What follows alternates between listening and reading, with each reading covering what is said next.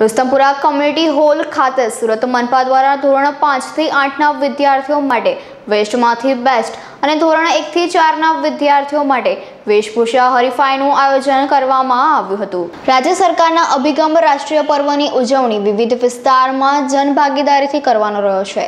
અત્યારે ભારતના રાષ્ટ્રીય પર્વ સ્વાતંત્ર્ય દિન પંદરમી ઓગસ્ટની સેન્ટ્રલ ઝોન વિસ્તારમાં આવેલા રુસ્તમપુરા કોમ્યુનિટી હોલમાં ધોરણ પાંચથી આઠના વિદ્યાર્થીઓ માટે કારીગરી સ્પર્ધા એટલે કે વેસ્ટમાંથી બેસ્ટ બનાવવાની અને સાથે ધોરણ એકથી ચારના વિદ્યાર્થીઓ માટે વેશભૂષા હરીફાઈનું આયોજન કરવામાં આવ્યું હતું. સુરત મનપાના સેન્ટ્રલ ઝોન વિસ્તારમાં કરાયેલ વેસ્ટમાંથી બેસ્ટ અને વેશભૂષા હરીફાઈમાં મોટી સંખ્યામાં વિદ્યાર્થીઓએ ભાગ લીધો હતો.